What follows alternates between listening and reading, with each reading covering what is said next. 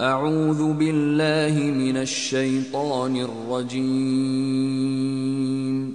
Bismillahirrahmanirrahim. Ey insanlar!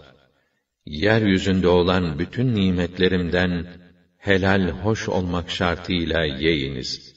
Fakat şeytanın peşinden gitmeyiniz. Çünkü o sizin besbelli düşmanınızdır.'' O size leşi, kanı, domuz etini ve Allah'tan başkası adına kesilen hayvanın etini haram kıldı.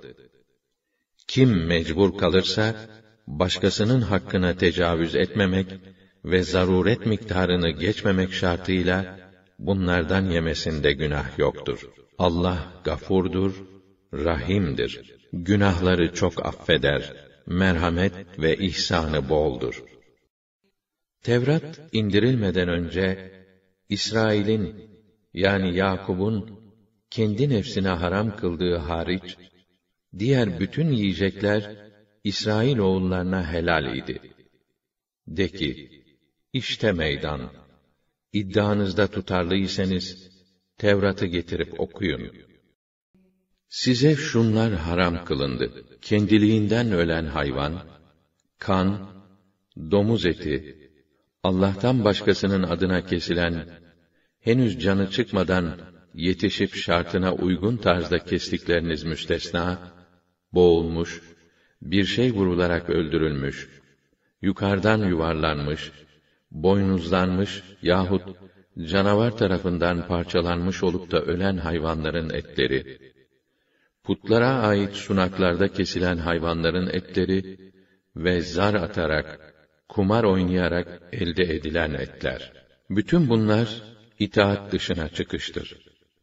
Artık bugün kâfirler dininizi söndürmekten ümitlerini kestiler. Öyleyse onlardan korkmayın. Benden çekinin. İşte bugün sizin dininizi kemale erdirdim ve üzerinizdeki nimetimi tamamladım. Sizin için din olarak İslam'ı beğendim. Kim günaha meyletmeksizin açlıktan bunalıp çaresiz kalırsa haram olan etlerden yiyebilir. Çünkü Allah gafurdur, rahimdir. Affı ve merhameti boldur. Kendilerine nelerin helal kılındığını sana soruyorlar. De ki, bütün temiz ve iyi rızıklar size helal kılınmıştır.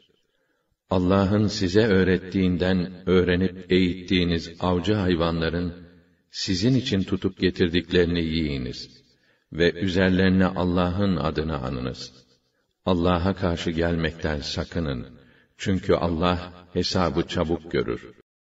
Artık o sapanların sözlerine kulak asmayın da Allah'ın ayetlerini tasdik ediyorsanız kesilirken üzerine Allah'ın adı anılmış olan hayvanların etini yiyin. Allah adına kesilmeyen hayvanın etini yemeyin. Bu Allah yolundan çıkmaktır, isyandır. Şeytanlar kendi adamlarına sizinle mücadele etmeleri için telkinlerde bulunurlar. Şayet onlara uyarsanız siz de düpedüz müşrik olur çıkarsınız. Aynı şekilde dediler ki falan hayvanlarla ekinlere dokunmak yasaktır. Onları bizim dilediklerimizden başkası yiyemez. Falan hayvanların da sırtları haram kılınmıştır. Bir takım hayvanlar da vardır ki, onları keserken Allah'ın adını anmazlar. Bütün bunları onlar Allah'a iftira ederek ortaya çıkarmışlardır. Allah iftiraları sebebiyle onları cezalandıracaktır. De ki, bana vahyolunanlar içinde bu haram dediklerinizin yemek isteyen kimseye haram kılındığını görmüyorum. Ancak leş yahut akıtılmış kan yahut pis olduğunda hiç şüphe olmayan domuz eti veya Allah yolundan çıkarak Allah'tan başkası adına kesilen hayvan olursa başka. Bunlar haramdır.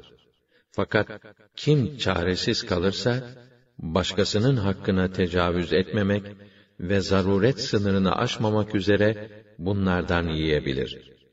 Çünkü Rabbin gafurdur, rahimdir. Affı ve merhameti boldur. Yahudilere bütün tırnaklı hayvanları haram kıldık. Sığır ve koyunun iç yağlarını da haram kıldık. Yalnız sırtlarında yahut bağırsaklarında bulunan veya kemiğe karışan yağları haram kılmadık. Haddi aşmalarından ötürü onları bu şekilde cezalandırdık. Şüphe yok ki biz hep doğru söyleriz. Allah size sadece leşi, kanı, domuz etini ve Allah'tan başkası adına kesilen hayvanın etini haram kıldı. Ama kim çaresiz kalırsa, zaruret miktarını aşmayarak ve başkasının hakkına da tecavüz etmeyerek, haram kılınan şeyden yerse, bunda günah yoktur. Şüphesiz ki Allah, çok affedicidir, merhamet ve ihsanı boldur. İki denizin suyu bir olmaz. Şu tatlı, içimi afiyetli, boğazdan kayıverir, o ise tuzlu, acıdır. Bununla beraber, her iki denizden de taptaze et yersiniz. Ve takındığınız inci gibi süs eşyası çıkarırsınız.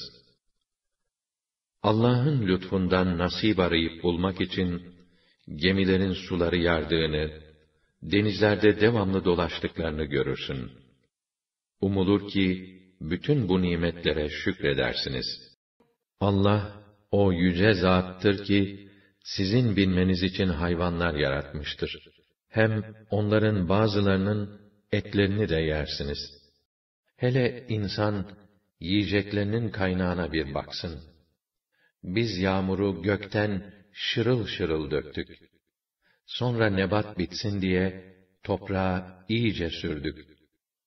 Orada hububatlar, taneler, üzümler ve yoncalar, zeytinler ve hurmalar, ağaçları gür ve sık bahçeler, meyveler ve çayırlar bitirdik.